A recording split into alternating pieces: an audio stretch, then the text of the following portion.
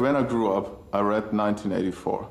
And it was like, in one way, he was a visionary, but in other ways, he was very optimistic because he couldn't foresee the technological developments we are having. So, from a technology perspective, it's much worse already. And that leads to a society which is a total surveillance state. 1984. I was born in 1984. Yep, that's me right there. It was the year that Orwell had envisioned as the beginning of the end of our privacy. Now we can see you. A world in which Big Brother was constantly watching. But no one paid that too much mind. After all, it was the same year happy families were bringing the first Macintosh computer into their homes. Hello, I am Macintosh. A decade later, my generation would already be firmly planted in front of a screen. We installed the internet on our computer just a short time ago, and I haven't been able to get the kids off it ever since.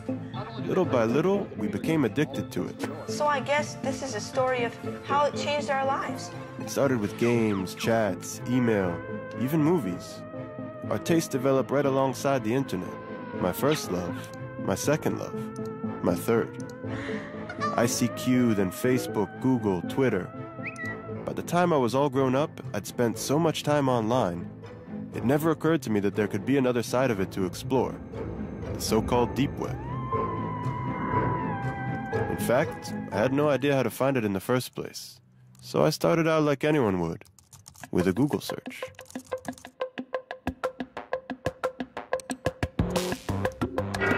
What lurks beneath the surface of the internet? The deep web.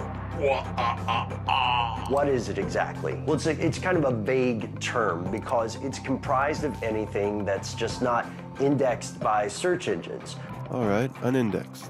So Google wouldn't take me very far. If we want to compare the size, then one great analogy is that the surface internet, the stuff that's indexed by Google, that would be sort of like the tip of an iceberg the tip of the iceberg. The majority of users can only access 1% of all the information the World Wide Web has to offer. The rest, deep beneath the surface, is known as the Deep Web. So the Deep Web is like an inaccessible data dump, filled by banks, governments, corporations. And then there's the invisible corner of it. There's the regular internet, and then there's something called the Darknet, an underground system of anonymous websites that are untraceable. What's a dark? אנחנו בעצם במשך הרבה מאוד שנים נמצאים במצב שכל מי שרוצה לעשות משהו בהסתר, לקנות סמים, לקנות סחורה גנובה. היה לו בעצם מאוד קשה היה לבצע את זה בעולם האמיתי. כי בעולם האמיתי אתה צריך לפגוש את המוכר, ואז אתה גם צריך לשלם לו באיזושהי צורה כסף. כשאנחנו מדברים היום על, על הדארקנט, בעצם אנחנו מדברים על זירת מסחר חדשה.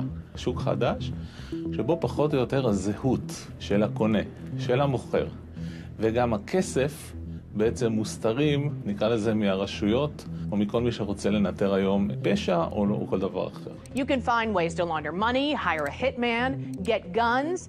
The deep web is used by many to buy fake identities. Websites offer green cards, driver's licenses, and passports. Some use it for more sinister reasons, such as human trafficking or drug exportation. אוקיי, okay, אתה רואה? זאת מערכת הפעלה של האקרים. לא Windows, לא שום דבר בסגנון הזה. כן. מערכת הפעלה שהיא נבנתה מראש בשביל צרכים של האקינג. Okay? Tel Aviv is a hub for cybersecurity types, so it wasn't hard to find Denor Cohen, a white hat hacker who dabbled in the gray zones of the internet for the good guys. The first thing Denor showed me is how vulnerable and exposed anyone using the open net is. Oh, ראית? הנה הסיסמה של הרשת. מדהים, אה? עכשיו תחשוב שכל הסודות שלך כל הסיסמאות בנק, הג'ימייל שלך, הפייסבוק שלך, השיחות הפרטיות שלך, הכל נחשף עם הקשת מילה קטנה ואנטר. Circling the block, Denor could enter into practically anyone's computer within a 100 meter range. And just as a hacker could intercept my information on the open net, so too the police could use similar tools to monitor crime. תראה, אם אנחנו עכשיו נתקשר על גבי הרשת הרגילה ונתאם עסקת סמים, יש מכשירים שמנטרים אוטומטית את הרשת הזאת, אין בעיה של כוח אדם, לבוא להזמין אותך לחקירה מהירה. בדארקנט אין שום דבר שיכול לעצור בן אדם, עם מספיק זמן מלעשות כמעט הכל. אני רוצה שזה יהיה מאוד ברור מה זה דארקנט. אתה בעצם מתקין לעצמך סוג של תוכנה ש- שמסתירה בעצם את הפעילות שלך? Well, you're going to need some software. One of the most popular is called Tor. Tor. Tor. Which originally stood for the Onion Router. The Onion Router. Onion Router. It was made by the U.S. Navy. How does Tor do it? Well, it takes your data and it bounces it around the world over several different data nodes. That way, no person or agency can figure out where the data came from or where the data is going. If you want to keep yourself invisible online, there is absolutely nothing better than Tor. It seemed unbelievable. Under cover of complete anonymity, sitting in the living room between episodes of your favorite show on Netflix, anyone could be pulling off the perfect crime, with no one the wiser. It took seconds to download, and Tor was on my desktop. The door to the darknet was wide open. Goodness, this is quite extraordinary. It's such a large rabbit hole. I'll just take a look inside. The question was, where to?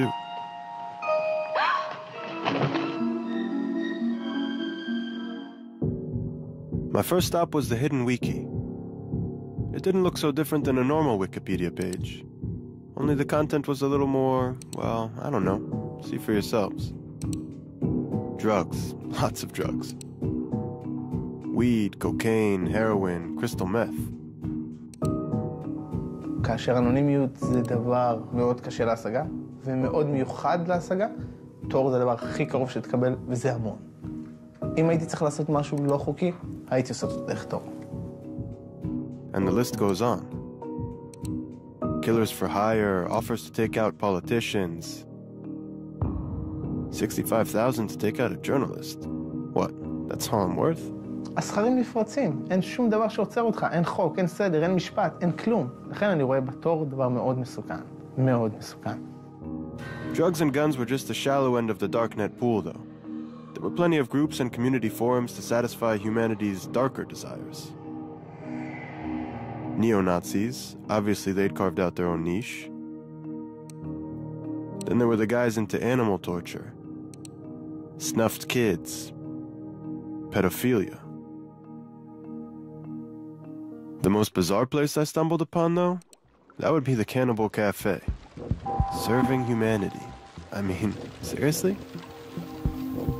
אני יכול להגיד לך על ישיבות שהיו לי עם קצינים, שתלשו שערות אחת-אחת. אין לנו מה לעשות מול הדבר הזה. זה פשוט סיוט. A modern day virtual Sodom and Gomorrah. It sure looked like a nightmare. If the rules of the game were changing, then what were the police doing to catch up? And did they even stand a chance? אוקיי. רצים? אפשר? כן. מעניין אותי לדעת איך, אם בכלל, הדארקנט שינה את מפת הפשע, מפת הפשיעה. הפשע שינה את פניו. היום אתה רואה יותר ויותר שהפשע עובר מהעולם הפיזי לעולם המקוון. ולמה? ולו בגלל הסיבה הפשוטה שבעולם המקוון אנשים נוטים לחשוב שהם יכולים להיות יותר אנונימיים ולעשות עבירות בלי להיתפס. תיכנס לתוך הדארקנט, אני מניח שנכנסת, אתה רואה לצורך העניין בן אדם רוצה לרכוש X, Y או Z, לרוב הדברים שהוא ירצה לרכוש זה דברים שאסור לו להחזיק ואסור למוכר למכור, אם זה סמים, אם זה נשק, אם זה אה, תועבה של קטינים, אם זה לקנות שירות, החל מהדבקה של מחשב, רנט ההאקר, אה, וכלה ברצח. The list of cyber threats went on and on, but I kept wondering is hiding your identity online a crime in and of itself? העניין הזה של אנונימיות. והאם אתם רואים בזה דבר רע, דבר חיובי, או אתם אדישים לזה? תראה, התפקיד שלנו זה לאכוף את החוק. מי שקובע את הנורמות החברתיות במדינת ישראל זה המחוקק. אני לא חושב שזה המקום שלי להביע דעה אם אדם צריך להיות אנונימי או לא. אני כן יכול לומר שהאנונימיות היא לכאורה נותנת לאדם לחשוב שאם הוא יעשה עבירה הוא לא ייתפס, וזה טעות, זה לא נכון. So was assuming that we could hide anything at all online just wishful thinking then? Could the police really find anyone and everyone hiding in the darknet? It took a considerable amount of digging and awkward questions before I found someone from the digital underworld who was willing to meet in person. Where could we meet in real life, though? Maybe I'd seen too many movies, but somehow an abandoned warehouse seemed appropriate. אני מאוד נורמטיבית, נכון? ואני מאוד כבר מבוגרת, וכבר יכולה להיות בגיל של סבתא, נכון? עכשיו, זה שזה אפל, וכל מה שאומרים, פורנוגרפיה וסמים, ו... בסך הכל זאת מדיה, זאת אומרת, זה, זה שוק כמו כל שוק, שוק שחור אמנם, אבל זה בסך הכל אמצעי. זאת אומרת, אני רואה שזה דבר חיובי מאוד, אם אתה נאמן לעקרונות שלך. אותי לא תמצא משוטטת לא בפורנוגרפיה ולא ב... לא בהימורים, כי הם לא מעניינים. אבל אולי ברוצחים שכירים, כן. מאוד כעסתי על זה שלא יכולתי לקנות איפה שרציתי, מוצר שרציתי. בדקתי באינטרנט, אמרו לי דפדפן תור מתאים. נכנסתי. אכן ראיתי, והעולם מרתק. זאת דווקא שמכינים ממנה חשיש ביתי. יש הרבה שעושים את זה. קוקאין? קוקאין, זה גם. אז תשמע, הרופאים נותנים ריטלין, בשביל מה צריך קוקאין לא חוקי? על זה אתה כועס? אין מה לכעוס על זה. זו פלטפורמה. הם מציגים את מרכולתם. Of course, Lily was hardly who I had imagined I'd be meeting with. She looked more like one of my mom's friends than someone who used the darknet. אבל באמת, זה לא מפחיד אותך? תראה, זה לא מפחיד, מפחיד שוב, מה שעושים עם זה. אפשר לעשות עם זה דברים רעים, זה נכון. אבל הדארקנט לכשעצמו לא מפחיד. I tend to be skeptical of people who tell me there's nothing to fear. Was the darknet really just a black market equivalent of eBay? Technology has always been two sided. Depends how you use it. Take, for instance, the 3D printer. Roey Tzezana had used one to print a 3D gun, whose model he downloaded from the darknet, and snuck it into a campus rally with one of Israel's biggest politicians. The funny thing about it, he said, everyone just stood around and watched.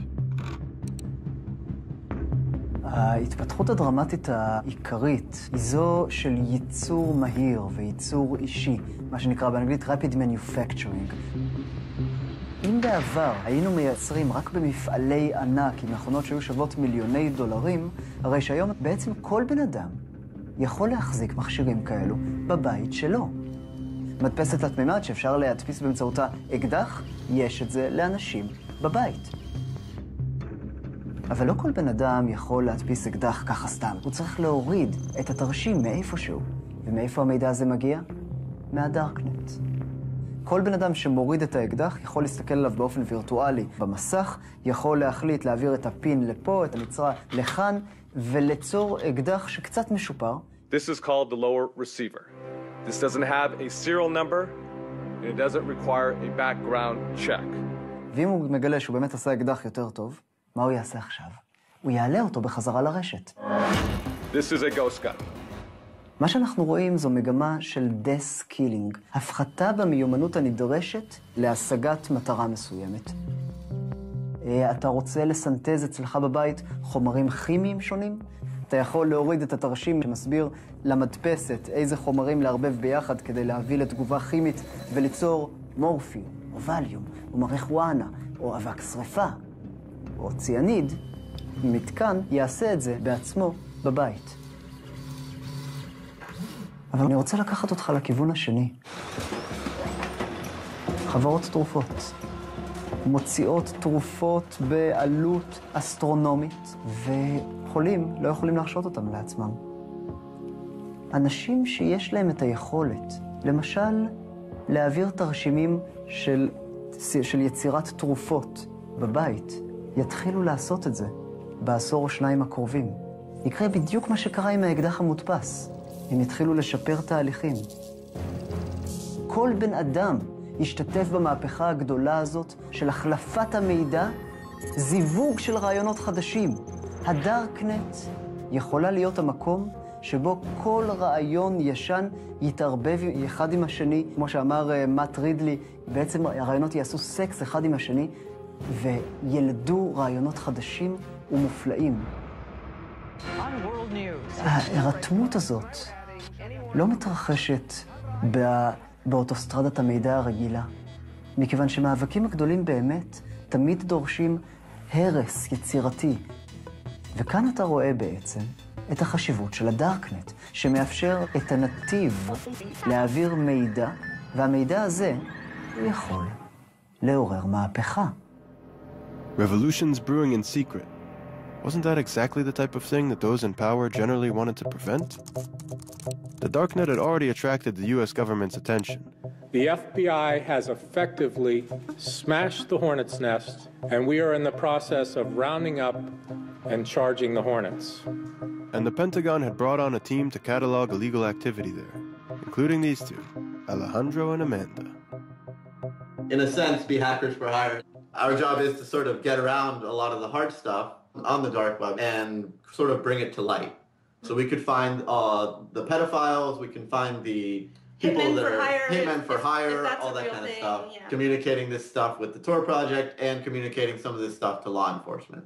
Because the, the you know the creators of the Tor project don't don't want to facilitate child exploitation, Yeah, right? Let's be very want clear about that. Do you think that, that some things deserve to stay in the dark, or does everything need to be in the light? Yeah, that's a great question. I mean, I, on some level, I think anonymity is extremely important. I, I think there's certain things that, um, I mean, there's bad people out there. There, there's, there's bad people that you want to, that users bad- need anonymity from, and then there's bad people that are using the anonymity for the for the wrong purposes. Um, I do think anonymity is important. I would not like to de-anonymize absolutely everything. But why? Why? Why is anonymity important? It's all about, you know, uh, The principle well, of privacy. It's the principle of privacy. And for what purpose? Why do we need it? The classic example that the Tor project always um, kind of uses out there is oppressive regimes. Yeah, this isn't a theoretical argument. You can look back um, through history, and um, whenever you have uh, revolutionary progress, you know, it always starts underground. I think about it, and, and you know, if if let's say in some like futuristic apocalyptic scenario, my government turns on me, and I want to be part of the rebellion or something like, you know, I would want something like this to exist. That was about the last thing I expected to hear from anyone employed by the US government. That even in the back of their minds was a big brother like scenario. The kind of idea you'd sooner expect to hear from anarchists. Instead of privacy, we have permission. It's about control, isn't it? It's about the incremental eradication of freedom. This is That's Julia Tourianski, a self proclaimed anti state propagandist. Don't police me. Statism is death. Jesus. Join me in my love affair with freedom. Privacy, control, freedom. This is Anarchast. These were buzzwords for a small group advocating for a new alternative to a broken system. People get afraid of new things very easily, and these are new ideas. Hacker, anarchist, darknet, they sound foreign. These were the crypto anarchists, an offshoot of a small group of technophiles that came together at the dawn of the internet age, the cypherpunks. What is a cypherpunk? What do you guys stand for? Cypherpunks are cryptography activists. We believe in personal privacy for everybody. It was the cypherpunks who had been responsible for the very first instance of a darknet, what they'd called the blacknet. Americans are not prepared to face the fact that they have they're living in an electronic police state. If anyone could tell me what it was I was missing about the darknet, it had to be them. And they were all gathering at the Institute of Crypto Anarchy in downtown Prague.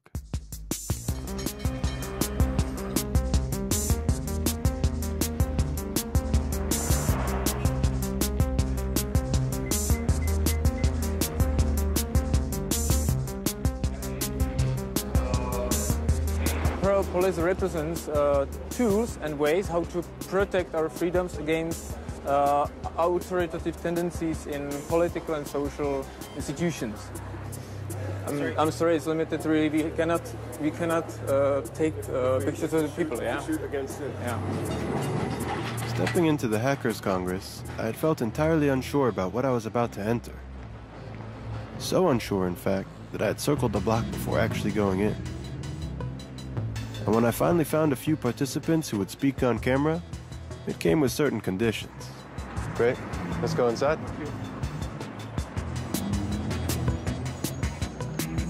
So when you're all set, you can have uh, you can have a seat. Thanks. So what's with the mask? What's with the gap?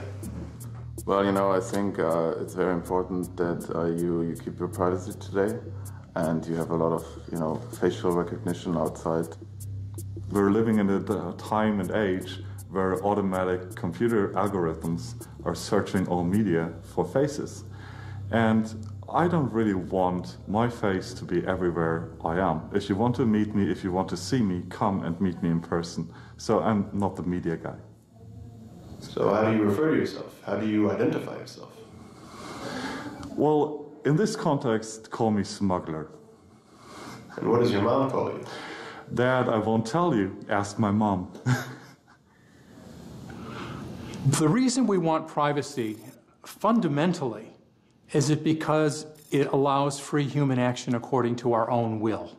Humans develop when they use their own mind and make their own choices, good or bad, and they deal with their own consequences. That's how we grow. You have to be able to screw up without getting slammed.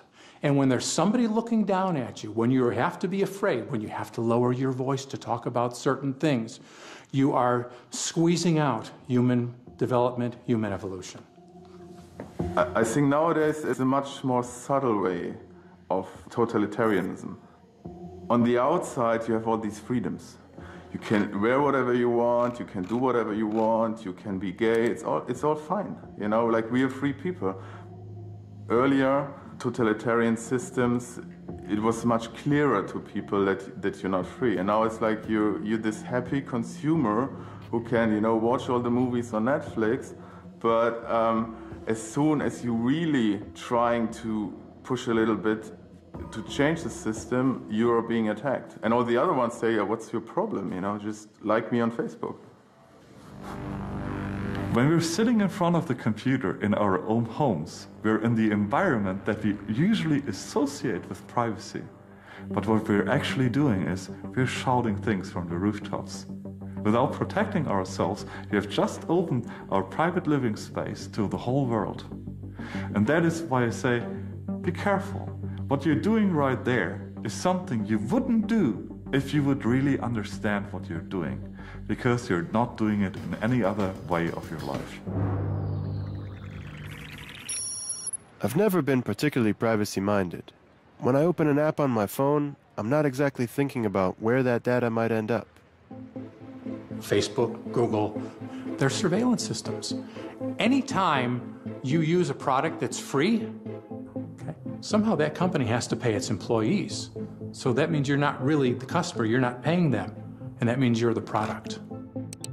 I'm not going to stop using Facebook. I'm not going to stop using Google until they start hunting people down and killing them. The idea that my generation would suddenly stop using social media seemed a little crazy, which is more or less how my friends saw it too. I mean, it is fucked up that you can't just like say whatever you want. I guess I've accepted the fact that I'm being tracked. I'm not doing anything illegal, not on the internet. If I have nothing to hide, why should I be afraid? I'm thinking if I have anything to hide. Your privacy is not violated in the moment that somebody takes your pictures and posts them online. Privacy is violated in the moment somebody is interested in your pictures and stores them. That is where the violation happens. Somebody grabbing your data and just storing it because he might want to use it. And it's this threat of a might that we are all subconsciously aware of. Everybody does something wrong. You know, maybe you cheat on your wife or you were drunk at this party and you have this, you know, ridiculous picture of you and, and then they can use that information to either, you know, like enforce a law which they didn't enforce before or they just, you know, blackmail you in public. When you're in a state where you have no privacy, where you have no anonymity, you're always worried about somebody looking in, somebody who's going to either physically punish you or say bad things about you behind your back or shame you. Shame among humans is like the weapons of mass destruction. So, what is it that we need to do to preserve our freedom? Start wearing masks? Throughout this 3D printed fashion show, I kept thinking about how paradoxical it is to believe we could only really be free in hiding, especially in the West, where we're so used to exposing everything. I had been in Cairo during the Arab Spring, at the same time that Sheera Frenkel was writing about the dramatic events there. Hey, Sheera. Now she was writing for BuzzFeed about encryption technologies, like Tor. In the West, we have this idea that the dark web is dark and evil and um, all things nefarious, where in the rest of the world, it's not called the dark net and it's not thought of as this evil meeting ground. It's thought of as a place for them to exchange information in a free and safe way. I've met with um, LGBT activists in countries in Africa and in the Middle East who consider it their, one of their only remaining safe havens. And when I say to them that, you know, in the U.S. we call it the dark net, that's what our politicians call it, they laugh and they think that's an insane idea. And they go, but this is this is where we're safe. This is where we talk. This is where you know, as I can be myself in a safe way. So there are large parts of the world where just being yourself online is enough to get you arrested. So for those people who know that they aren't safe online, that they aren't safe to just send emails or be part of Facebook groups, um, encrypted technologies could mean sort of can, can be a lifesaver actually. I could understand the need for the darknet while living under a dictatorial regime, but freedom is a fundamental part of democratic societies, isn't it? אנחנו נמצאים היום במפגש בין שתי צורות שלטון מתחרות. זו שבה האח הגדול הוא זה שמנהל את החיים לתושבי המדינה, ומהצד השני, שלטון ההמונים. השלטון מנסה להבטיח את ביטחון האזרחים ואת הביטחון שלו עצמו. כדי לעשות את זה, הוא חייב לעצור את האיום שטומנים לו הזאבים, הטרוריסטים, האנשים שרוצים להפוך את השלטון בכוח, ולפעמים גם האנשים שרוצים להפוך את השלטון לא בכוח. השאלה היא איך השלטון יכול לעצור את הטרוריסטים ואת הפושעים בלי לפגוע גם בחופש הדיבור. ולשאלה הזאת אין עדיין תשובה טובה. מה אתה עושה כשהחובה שלך היא להגן על המדינה, ואתה רואה שהאיום כל כך גדול? אתה נכנס להיסטריה, ואתה מתחיל לעקוב אחרי כל דבר וכל אחד. כי אם אפילו טרוריסט אחד עובר בין החורים שבה, שברשת שלך, אתה יודע שהאיום שהוא טומן הוא כל כך גדול, שאתה לא יכול להרשות לעצמך את זה. If one terrorist was enough to make us hysterical, 19 of them was enough to set the world on fire. Within months of 9-11, the U.S. Congress would pass the Patriot Act, and the NSA would begin the mass surveillance programs it had sought to enact for years. I take the threat of terrorism seriously, uh, and I think we all do. It would be over a decade before Snowden revealed that the NSA hadn't just been tracking terrorists, they'd been following millions of innocent Americans as well. I think it's really disingenuous for the government to justify programs that have never been shown to keep us safe, but cost us liberties and freedoms that we don't need to give up. When I came back to the US and I spoke to people about the Snowden files, a lot of them sort of shrugged their shoulders and were like, well, what do you expect? Of course, the government's doing this. Of course, the government's monitoring us in these, you know, X, Y, and Z ways. Um, and so I thought that was interesting that on the one hand, here were these files, this cache of documents that was going to reveal in an unprecedented way what the government was doing to spy on us. And at the same time, here were Americans shrugging their shoulders and being like, eh, so what? They say they want the information because it's good for you. Well, there's a problem with that. Number one is that they just collect everything they can and get everything they can because they can, and because, to be honest, if you're in government, if you're doing that type of work, the odds are very high that you have sort of a control bias psychologically. They like control. They want to think everything, if something, oh, something bad could happen if this, if we don't control that. Well, something bad could always happen. So when you take that as a standard, there's no end. בתמסורות פנימיות של ה-NSA, אנחנו יכולים לראות שהשלטון וה-NSA כבר התחילו להעביר מסמכים פנימיים ביניהם, שמלמדים את הסוכנים שלהם מה הפגיעויות, לא של טרוריסטים, של מטיפים מוסלמיים. כשהשלטון ממפה מה נקודות התורפה של מטיפים מוסלמיים, מצביע על אחד מהם ואומר, הוא, יש, הוא, הוא גולש בפורנו באינטרנט. פתאום לשלטון יש כוח, ככה, לכבות את המוניטין ואת הסמכותיות של כל, של כל בן אדם שהוא לא, שהוא לא אוהב את מה שהוא אומר. I have a dream that one day this nation will rise up אולי, אני רק אומר שיכול להיות שגם המטיפים החשובים ביותר, גם מרטין לותר קינג, שאגב בגד באשתו על ימין ועל שמאל, ועישן באופן סדרתי, דבר שהוא הסתיר מהציבור עד כמה שהוא היה יכול, אם הוא היה חי היום, והוא היה מתחיל את אותה מהפכה של זכו... לתת זכויות לשחורים באמריקה, השלטון היה יכול לכבות אותו בכזאת קלות. ואם אפשר לעשות את זה לכל אחד, לאן זה לוקח את המדינה? כשהדעות הסותרות לא נשמעות. כשאין דמוקרטיה אמיתית שיכולה לגרום לשלטון לשנות כיוון ולפנות למקומות יותר בטוחים. זה מוביל אותנו למקומות רעים מאוד. If that was the case, then where would the next Martin Luther King be able to spread his message? For the crypto anarchists gathered in Prague, the answer was clear in places like the Darknet. Only for them, spreading the message was just step one. The next step was how to build systems that exist outside of government control altogether. Crypto anarchists are anarchists who believe in using cryptography to create a free zone, a terra nova, a free territory with walls of cryptography around it. And they can converse with cryptography, they can use cryptographic currencies, they can create, to a very considerable extent, a separate realm in which they can live. How would this separate realm operate, though, if we're still completely dependent on the state? What the state provides is uh, lots of bureaucracy, senseless work that I have to do every day, like to go to offices and to undergo all these taxes and so. But states also provide basic needs we have, like the safety, security, roads, and everything. But all of these things can be provided privately uh, by means of decentralized tools. So everything can be uh, provided by by global providers or, or, or provider from totally different country. There, there are, the national borders are not making sense in this in this uh, surrounding because you know on deep web it's it totally doesn't matter where you join from. So then the alternative to the state and systems growing in the deep web was a call for revolution?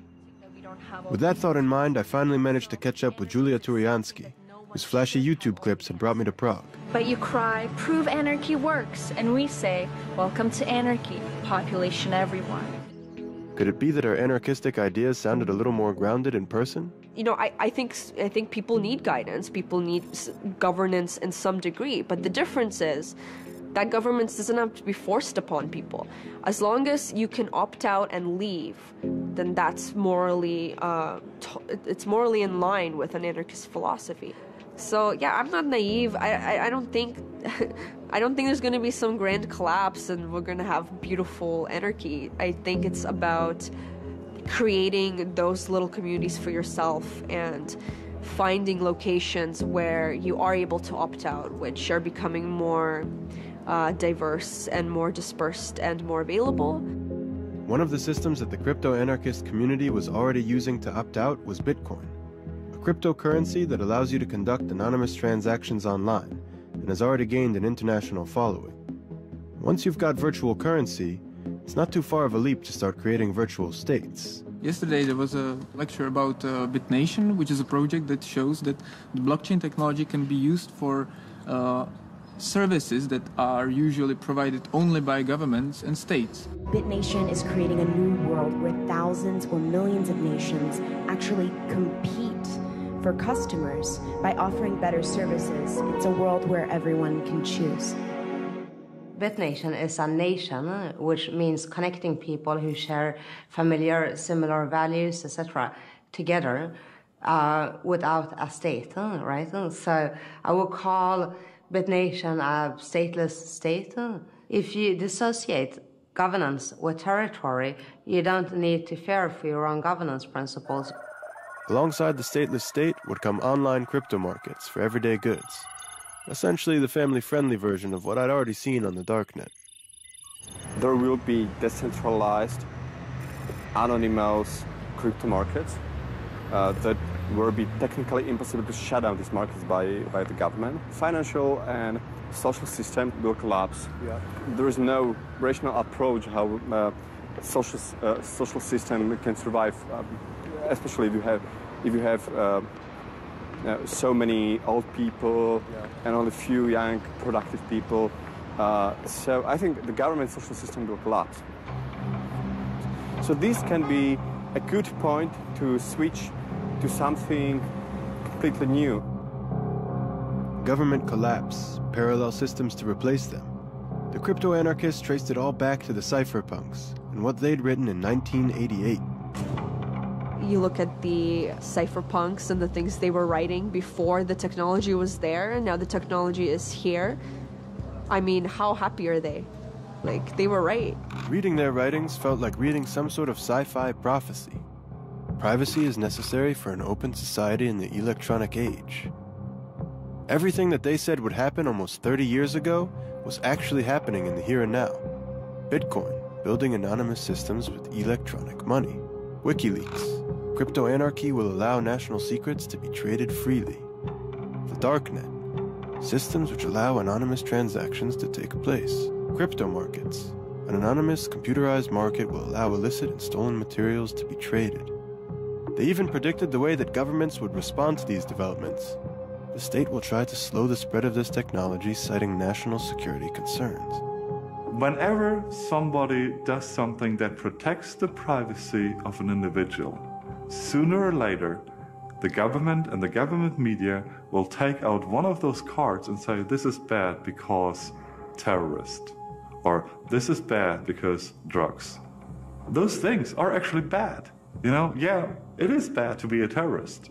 But what the government really does there, or the opponents of privacy really do there, they play on our emotional piano. Okay, let's see. WikiLeaks, U.S. government.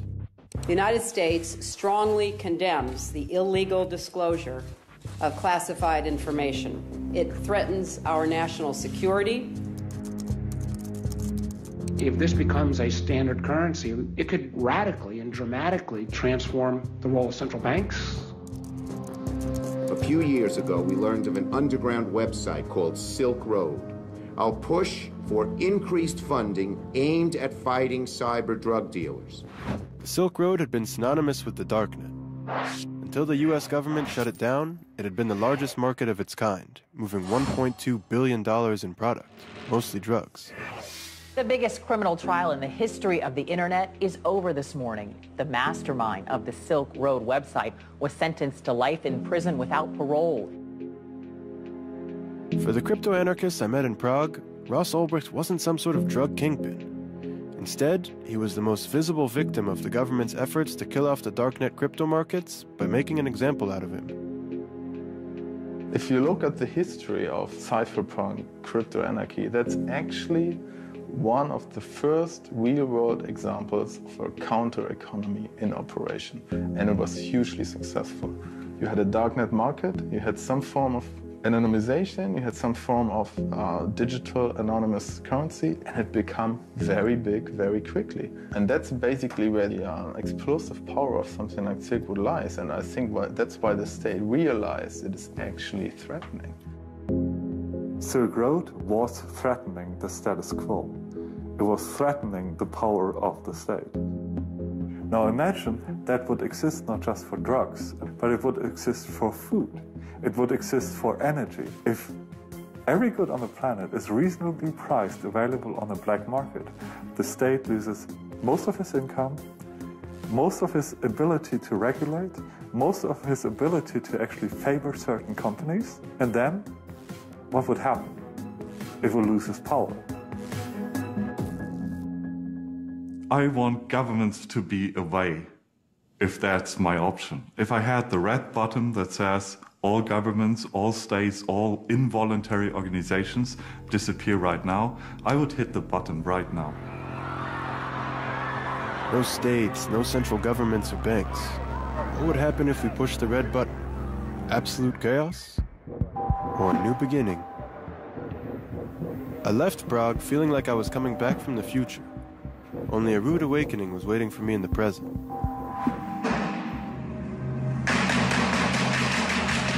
Two attacks in Paris, one in the US. Oh my gosh. Downed plane in Egypt.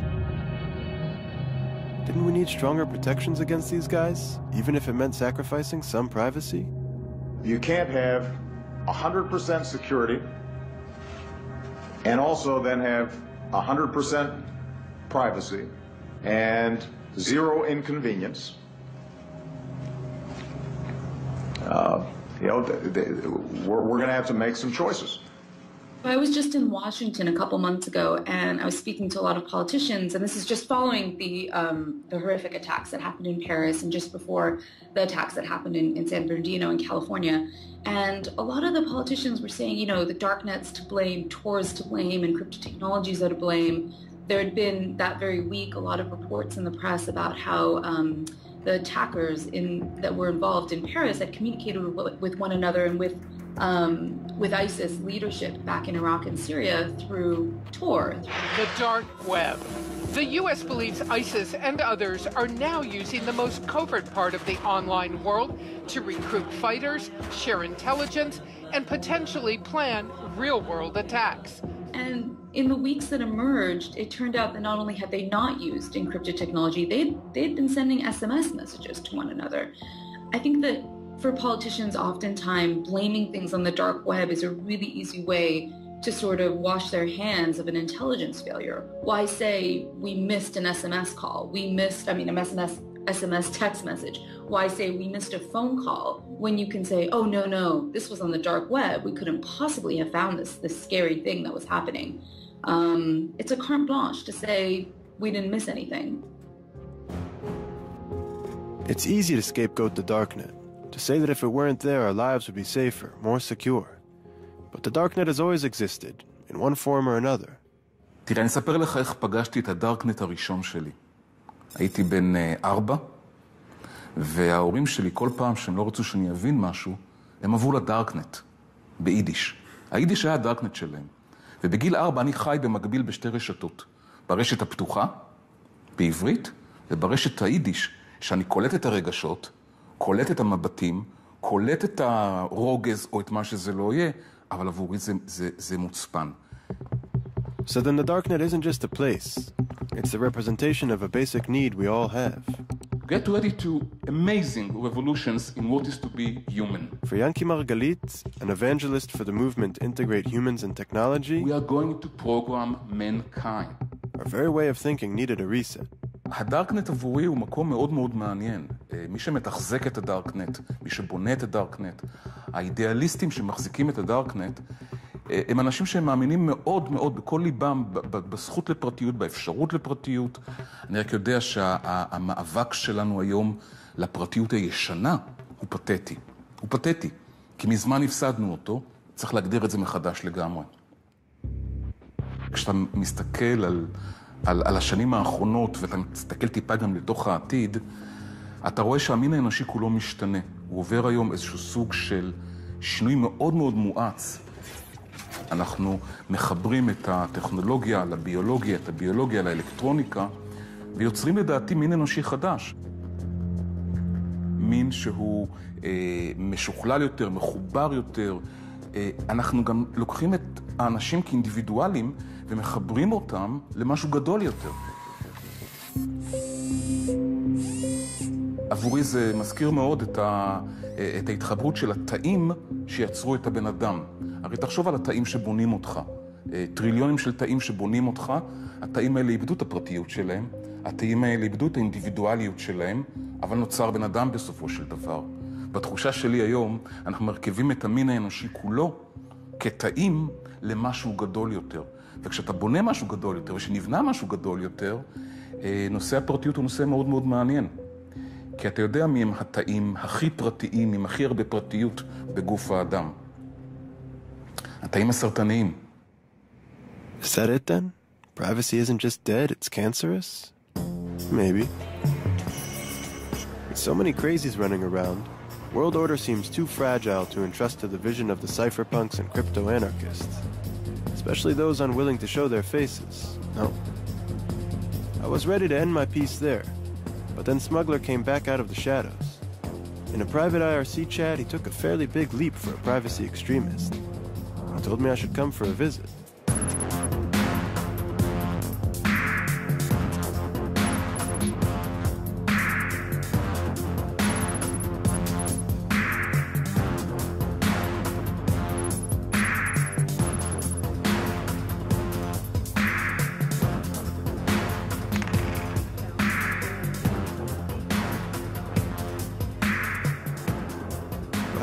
Streets of Berlin with two guys in masks made me a little uncomfortable, even if we'd already met once before. What must have been going through the taxi driver's head? Think about it, like psychologically, why you were nervous, and I mean, look at you, okay?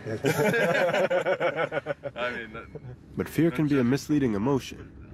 What was I supposed to be afraid of, really? The cancerous cells? Or giving up our privacy and individuality to become one big organism? You can make all people work the same ways. And we see that in, in nature as well. Farming, for example. You know, if you're using all the same methods, all the same crop, all the, sa- all the time, sooner or later, your farming operation will break down because reality depends on diversity to become stable. Cut off camera here.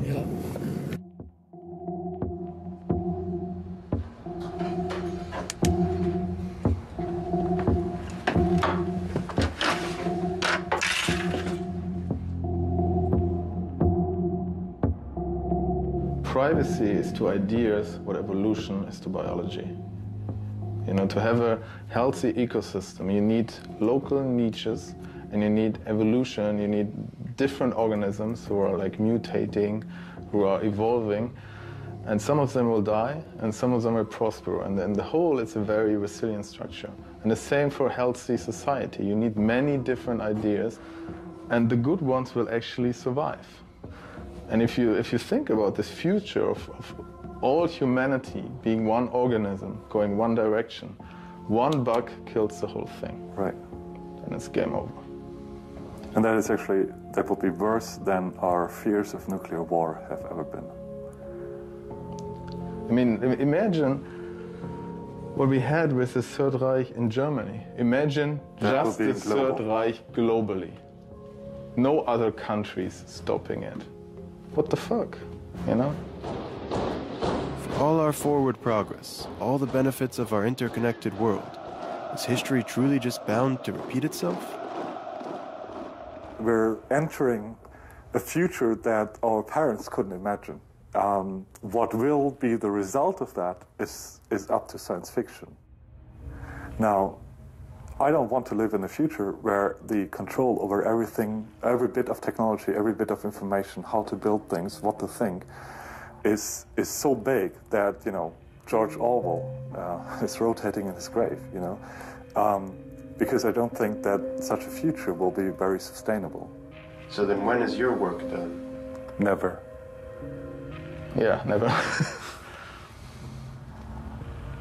I mean, some people work for surveillance and we work to increase privacy. We will never get there. It's an ideal, an ideal to strive for. Plus, even if we work for more privacy, it doesn't mean that anybody will stop working for surveillance. So as long as they're working for surveillance, we have a job to do.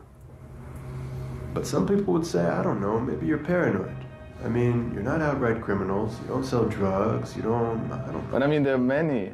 I- I think the whole discussion, it's weird how the discussion got so reframed that we are actually the ones who have to do the defending. You know, why do you have curtains in your flat? Why do you lock your door? And there are many old historical incidents where people got killed because of data collected of them.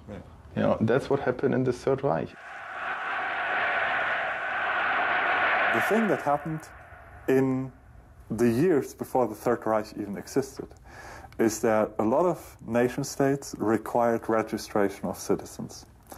And one of the things that many states like the Netherlands, Belgium, France, Germany required was to write down your religion.